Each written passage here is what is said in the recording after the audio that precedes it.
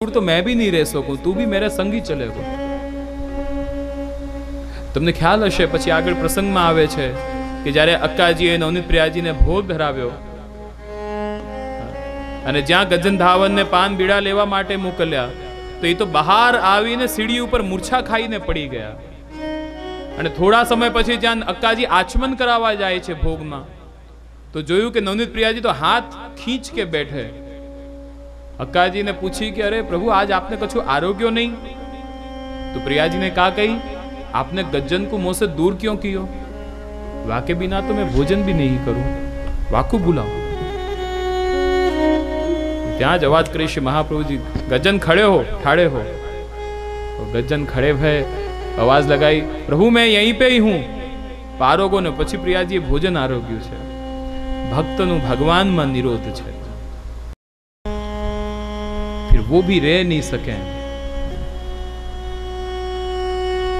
એવો નિરોધ લીલા એટલે આ દશમ સ્કંદ જેમાં ભક્તનો ભગવાનમાં અને ભગવાનનો ભક્તમાં બંને નિરોધ આ દશમ સ્કંદની લીલામાં આપણને જોવા મળશે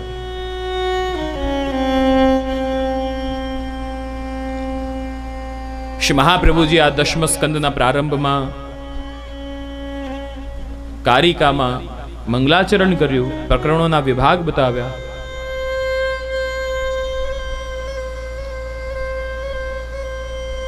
નમામિ હૃદય શેષે લીલાક્ષીરાબ્દશાયિનમ લક્ષ્મી સહસ્રલીલાભી સેવ્યમાનમ કલાનિધિમ. ચતુર્ભિશ્ચ ચતુર્ભિશ્ચ ચતુર્ભિશ્ચ ત્રિભિસ્તથા ષડભિર્બિરાજતે યોસૌ પંચધારદે મમ.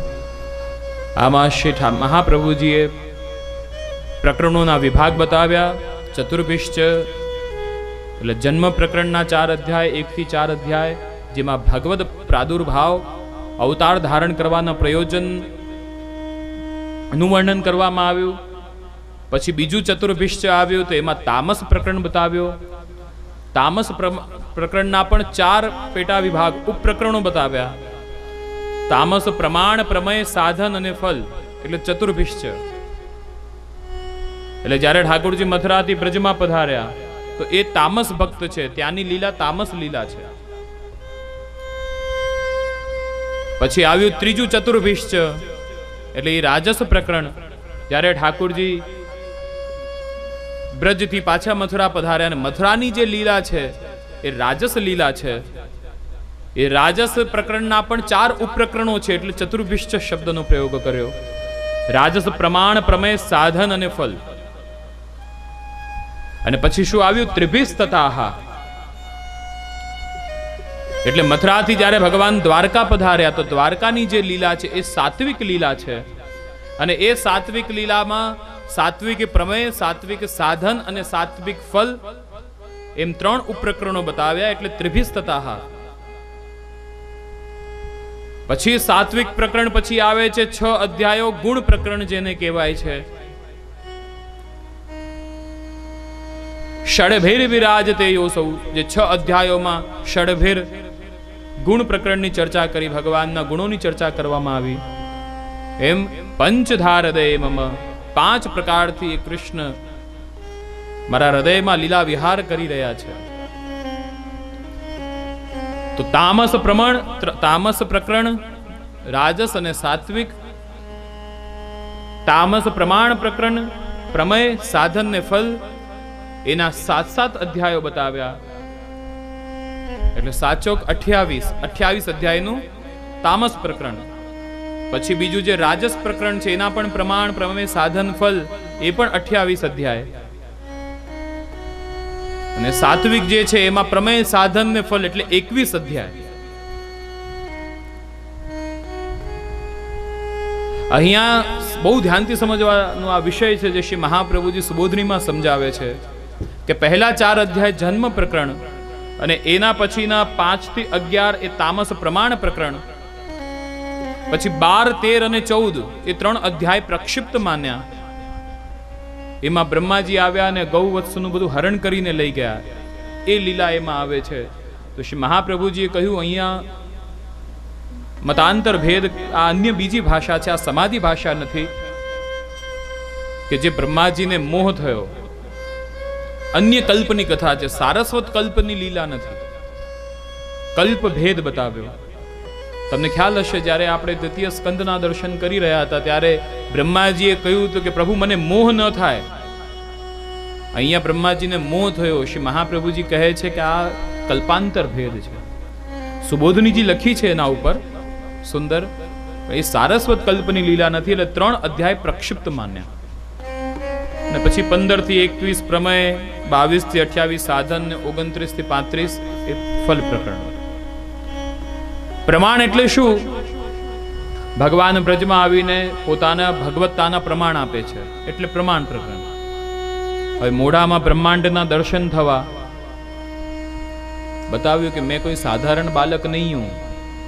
મેં ભગવાન હું. એટલે ભગવાને પ્રમાણ આપ્યા. એટલે એ પ્રમાણ પ્રકરણ કહેવાય. તો જ્યાં ભગવાન મોઢામાં બ્રહ્માંડ દેખાડે ને આ યશોદા મૈયા ને બધા વિચારવા લાગી જાય, અરે એ મેરે લાલા કો તો કોઈ કી નજર લગ ગઈ. ચલો યાકી નજર ઉતારે. તો એ જે યશોદાજીના મનમાં જે વસેલું જે સ્વરૂપ છે કે આ તો મારું બાળક છે, કે યે તો મેરે પ્રિયતમ હૈ, કે યે તો મેરા સખા હે, વો જો સ્વરૂપ હૈ, વાકુ પ્રમેય કહ્યો જાય.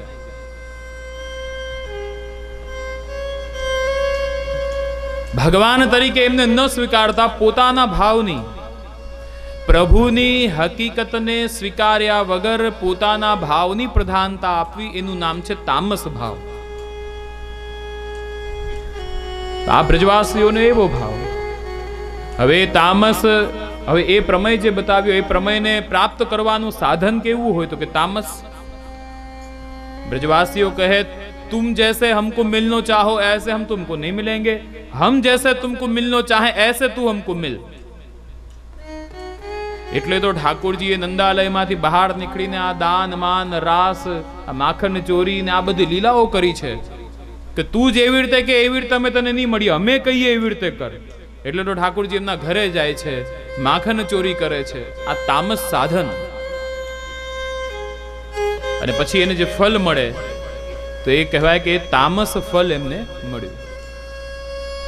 એટલે આ અઠ્યાવીસ અધ્યાયનો તામસ પ્રકરણ, પછી રાજસ, એટલે રાજસમાં તામસ જેવી જડતા નથી. અને એના પછી આવ્યું સાત્વિક પ્રકરણ. એના એકવીસ અધ્યાય બતાવ્યા. શ્રી આચાર્યજી આજ્ઞા કરે છે કે ભગવાનનું જ્યારે કારાગ્રહમાં પ્રાગટ્ય થયું, તો ચતુર્ભુજ રૂપથી થયું હતું. પછી બ્રજમાં પધાર્યા તો દ્વૈભુજા દ્વે ભુજા ધારણ કરી. બે ભુજા ધારણ કરી અને પછી પાછા મથુરા પધાર્યા અને મથુરાથી જ્યારે દ્વારકા ગયા, તો પાછા ચતુર્ભુજ રૂપથી ત્યાં બિરાજ્યા. અને એ જ્યારે ભગવાન દ્વારકાધીશ થયા, એ સમયમાં જેટલા પણ લોકો હતા, બધાએ માની લીધું હતું કે આ કોઈ સામાન્ય પુરુષ નથી, આ ભગવાન છે. અપવાદ રૂપ બે એક જણા એવા હતા, શિશુપાલ. એક તો ઈ એમની નિંદા કરતો શિશુપાલ. હવે એ શું કામ નિંદા કરતો એ તો આપણે બધા જાણીએ જ છીએ. જેની સાથે એના લગ્ન થવાના હતા. ઓલો બિચારો તૈયાર બેઠો હતો માંડવામાં ને તો એ તો નિંદા કરવાનો જ છે. શું હાલત થાય એ આપણે સમજી શકીએ. એટલે એ એક હતો અને એક બીજો પૌંડ્રક વાસુદેવ. એણે પણ શું કર્યું? લાકડાના બે હાથ લગાવી દીધા. અને કેવા લાગે કે હું ઓરિજિનલ છું, ઓલો ડુપ્લિકેટ છે. એટલે બે એક જણા એવા હતા, બાકી બધાએ માની લીધું કે આ ભગવાન છે. શ્રી આચાર્યજી આજ્ઞા કરે છે કે જ્યારે બધાએ સ્વીકાર કરી લીધું કે એ ભગવાન છે, તો પછી ભગવાનને પ્રમાણ આપવાની આવશ્યકતા નથી. એટલે પ્રમાણ પ્રકરણના સાત અધ્યાય ઓછા છે. એટલે સાત્વિક પ્રમેય, સાધન અને ફલ એકવીસ અધ્યાય.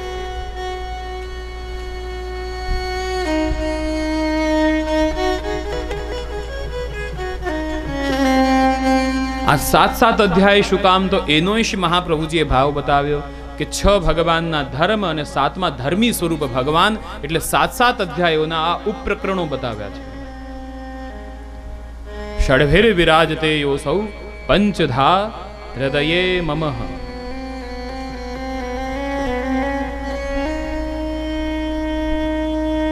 પાંચ પ્રકારથી કૃષ્ણ મારા હૃદયમાં વિહાર કરે છે. ઘણી વખત વૈષ્ણવ એમ વિચારતા હોય કે ભાઈ આપણા વૈષ્ણવી પરંપરામાં તો બ્રજના જ લાલાને માનીએ, દ્વારકાના કૃષ્ણ કે પછી મથુરાના કૃષ્ણથી આપણો સંબંધ નથી. પછી મહાપ્રભુજી કહે છે પંચધાર હૃદય મમ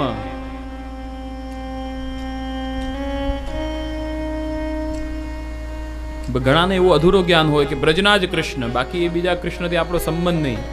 અરે ભાઈ, આ મહાપ્રભુજી એવું નથી કહેતા? જો એવું હોત તો મહાપ્રભુજી લખત એક ધાર દે મમ. અહીંયા લખ્યું છે પંચધા પાંચ પ્રકારથી મારા હૃદયમાં વિહાર કરે છે.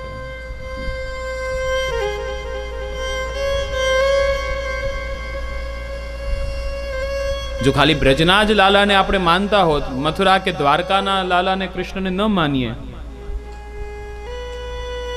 તો તમે એને પલના આપણે ઝુલાવી શકીએ, એની રાઈનો આપણે કરી શકીએ, એને હિંડોળામાં આપણે ઝુલાવી શકીએ આ હોળીનો સમય છે તો એને ગાળો આપી શકીએ ભાઈ. હરી કારોરી હરી કારોરી હરી દો બાપન બીચ વારોરી તુમ આવોરી તુમ આવોરી હરી કો ગારી સુનાવોરી તો તમે એને એને આ ભાવથી, તામસ ભાવના લીધે એને ગાળો આપી શકો. એ ગાળોમાં એ ખાવા માટે તૈયાર છે. હમણાં તો બહુ ગાળો આપવામાં આવે છે. એવી એવી ગાળો. ભગવદીઓએ કીર્તનોમાં ને ધમારને તમે જુઓ તો આમ ખ્યાલ આવે કે શું છે. बड़ा ये विलक्षण मार्ग श्री महाप्रभु जी ने हमको दिया है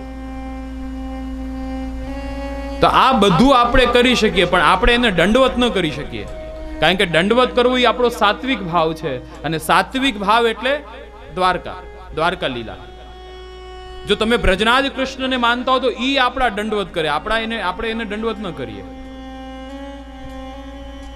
પછી મહાપ્રભુજી જે ભાવ બતાવ્યો, સર્વદા સર્વ ભાવે ન ભજનીયો વ્રજાધિપહ સેવા અંતર્ગત બ્રજનો ભાવ સ્વીકાર્યો એનું કારણ કારણ કે એને આપણા ઘરનો ઠાકુર બનાવવાનો છે. એને ત્યાં જઈને સેવા નથી કરવાની, એને આપણા ઘરમાં પધરાવીને એની સેવા કરવાની છે. તો હવે આ લીલા તો ક્યાં થઈ? તો કે બ્રજમાં. બ્રજમાં ઠાકુરજી નંદાલયમાંથી બહાર નીકળીને ગોપીજનોના ઘરે ઘરે જઈને એમના મનોરથ સિદ્ધ કર્યા. એટલે વૈષ્ણવના ઘરમાં જે ઠાકુરજીની સેવા થાય છે, એ ગોપી ભાવથી થાય છે. આચાર્ય બાળકોને જ્યાં તે સેવા હોય છે, ક્રમ જે છે, એ નંદાલયના ભાવથી સેવા હોય છે. અને અહીંયા વૈષ્ણવના ઘરમાં ગોપી ગ્રહ કી ભાવના. એને આપણા ઘરમાં પધરાવાના છે. તો આ લીલા તો ભગવાને ક્યાં કરી? તો કે બ્રજમાં. એટલે બ્રજની ભાવના સ્વીકારવામાં આવી પણ એનો મતલબ એ નથી કે બીજા કૃષ્ણથી આપણો કોઈ સંબંધ નથી.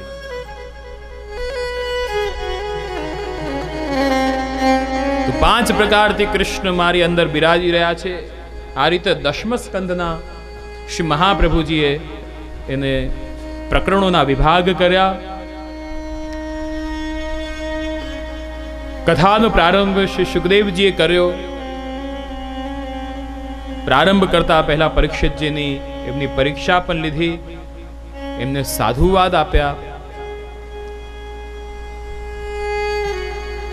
કારાગ્રહમાં જે ભગવાનનું પ્રાગટ્ય થયું, ત્યાંથી જ ભગવદ ઈચ્છાથી પ્રભુ એમને આજ્ઞા આપી, અમને ગોકુલ આપ પધરાવી જાઓ. અને ઈ વસુદેવજી લાલાને ગોકુલ લઈ આવ્યા. ત્યાંથી ઓલી જે માયાનો જન્મ થયો તો એ અહીંયા લઈ આવ્યા. આ લીલા આજના સમયમાં પણ થાય છે વૈષ્ણવ પરંપરામાં. જે આચાર્ય સ્વરૂપ તમને બ્રહ્મ સંબંધ આપે, ઠાકુરજી તમને પધરાવી આપે? જેમ વસુદેવજીએ શું કર્યું? મથુરાથી લાલાને લઈને ગયા, ગોકુલ પધરાવે અને ત્યાંથી માયા લઈ ગયા. એવી રીતે એક ગુરુ પણ જ્યારે તમને ઠાકુરજી પધરાવી આપ્યા તો તમારું ઘર ગોકુલ થયું અને ત્યારે જ્યારે તમને બ્રહ્મ સંબંધ આપ્યું તો અહમતા રમમતા રૂપી માયાને એ ગુરુ લઈ ગયા. આ લીલા આજે પણ વર્તમાન સમયમાં પુષ્ટિ પરંપરામાં થાય છે. જેમ વસુદેવજી, એ વસુદેવજી સમાન છે. તમને કૃષ્ણ પધરાવે આપ્યા. હવે તમે નંદ યશોદા, હવે તમે ગોપીજન તમારું ઘર ગોકુલ થયું. અને અહમતા મમતા રૂપી માયા લઈ ગયા. બ્રહ્મ સંબંધના માધ્યમથી. અને જ્યારે બ્રજમાં લાલાનો જન્મ થયો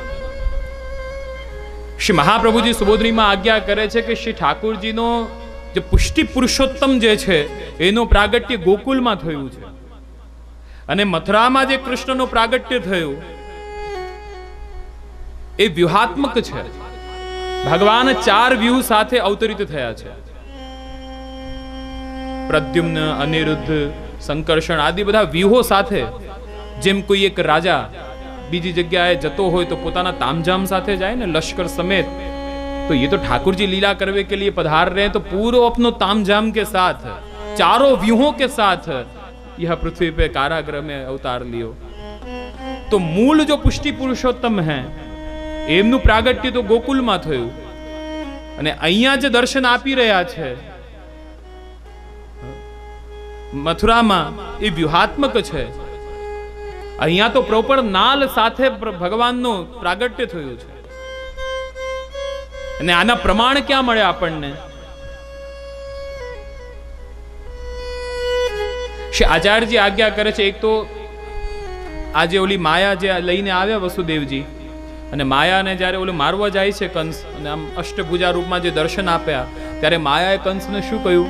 અરે મૂર્ખ કંસ, તને મારવા વાળો તો ક્યાંક જન્મી ચૂક્યો છે.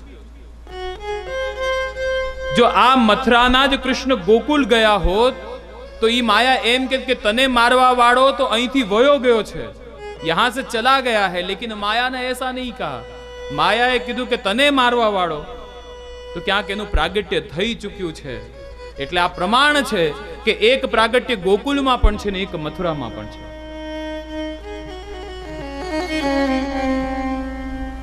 અને જ્યારે અક્રૂરજી આગળની લીલામાં આવે છે કે જ્યારે ભગવાનને લેવા માટે, મથુરા લેવા માટે પધાર્યા, ત્યારે મથુરાથી જે કૃષ્ણ આવ્યા હતા એ મથુરા વયા ગયા પાછા એમની સાથે. અને ગોકુલના કૃષ્ણ તો બ્રજ છોડીને બહાર ગયા જ નથી.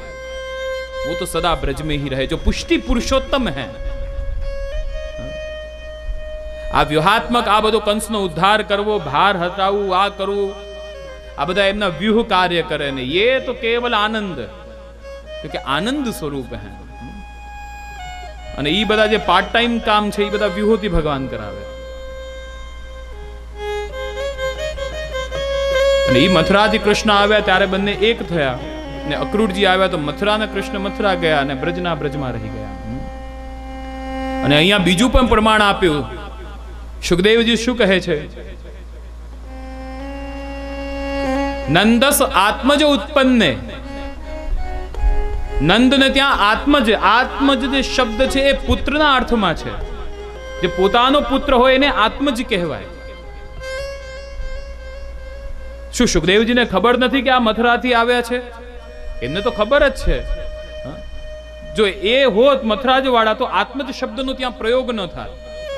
પણ અહીંયા આત્મજ શબ્દ આવ્યો કે નંદસ્વ આત્મજ ઉત્પન્ને જાતા લાદો મહામનઃ.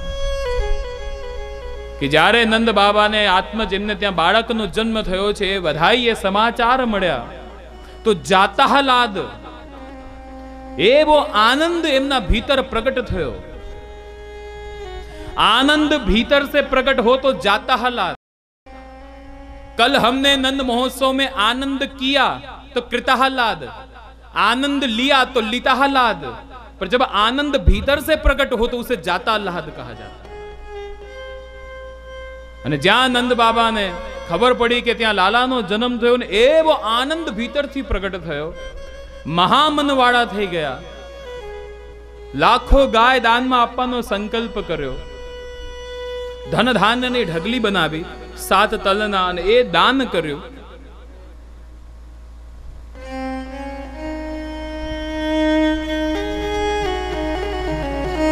અને એ આનંદ કેવલ નંદ બાબાના અંદર નતો શ્રી મહાપ્રભુજી સુબોધનીમાં આજ્ઞા કરે છે કે અહીંયા ભગવાને પોતાનું ઐશ્વર્ય પ્રગટ કર્યું છે.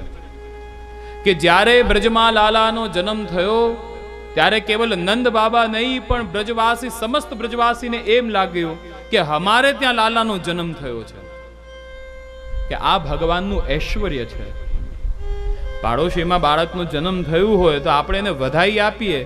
પણ જેવો આનંદ ઓલાને હોય, એવો આનંદ આપણા ભીતર થોડે હોય. જે આનંદ એના માતા પિતાને છે, એવો આનંદ આપણી અંદર ન હોય. પણ જ્યારે લાલાનો જન્મ બ્રજમાં થયો, તો બધા બ્રજવાસીઓ એમ માનવા લાગે કે અમારે ત્યાં બાળકનો જન્મ થયો છે. આ ભગવાનનું ઐશ્વર્ય છે. પણ એવા બધા આનંદમાં આવ્યા. આખા બ્રજમંડલમાં ચોરાસી કોષમાં ધીરે ધીરે વાત આનો પ્રચાર થયો બધાઈ ફેલાવા લાગી. આનંદના સમાચાર. અને બધા વધાઈઓ લઈ લઈને નંદાલયમાં વધાઈઓ આપવા માટે જઈ રહ્યા છે. સુંદર શિંગાર ધારણ કરે, વસ્ત્ર ધરાવ્યા. અને માખણ છાછ ને બધું લઈ લઈને રસ્તામાં જાય અને પાછા આજુબાજુમાં ઘર આવતા જાય. તો કેતા જાય हेरी है। भैया हो। अरे ओ भैया, ओ हेरी, तुमको पतो चली के नहीं कि का? आज नंद राय के आ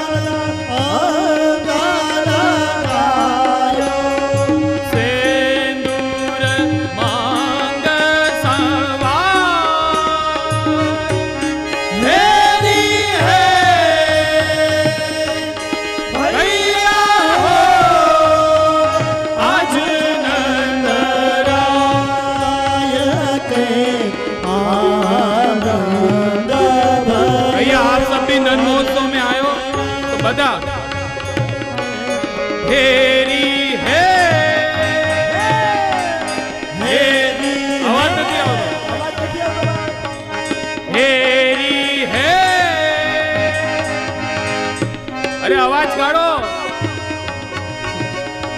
ભૈયા હો. હા હવે. હવે અવાજ આવ્યો.